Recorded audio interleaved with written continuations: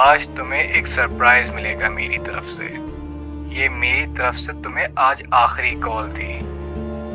क्योंकि आज के बाद तुम मुझे कॉल किया करोगी। रोते रोते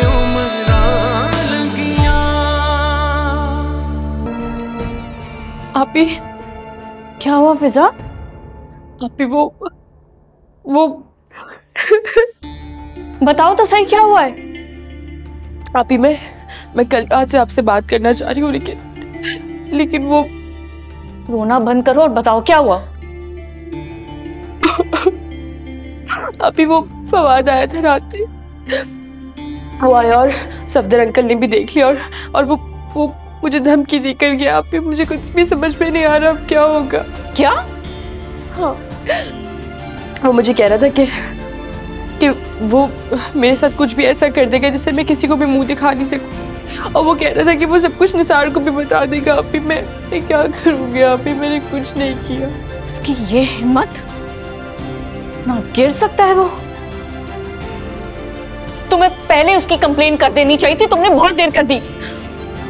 अभी मैं तो उसके करियर की वजह से चुप हो गई कि उसका करियर ना खराब हो जाए। बाद में क्या वो? वो इस लायक ही नहीं है कि उसके लिए अच्छा सोचा जाए।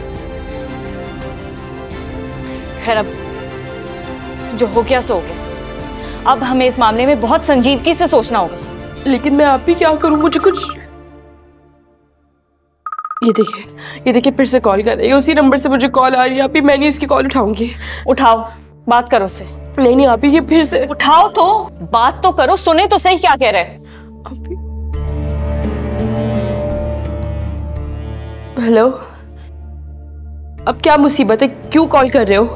मुसीबत नहीं सरप्राइज़। आज तुम्हें एक सरप्राइज़ मिलेगा मेरी तरफ़ से।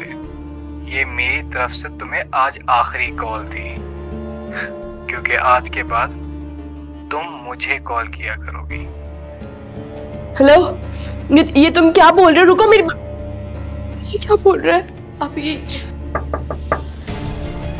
हादिया बीबी आपके अम्मी अब्बू आए अम्मी अबू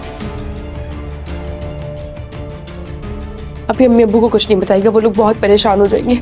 आप प्लीज़ उन्हें कुछ नहीं तुम एक लफ्ज नहीं कहोगी उनसे। समझी तुम?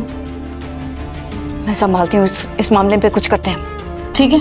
मैं मैं मुँह धो कर आती हूँ आप जब तक जाए। मसू पूछो और मुँह धो के आओ मैं अम्मी अबू को देखते हैं।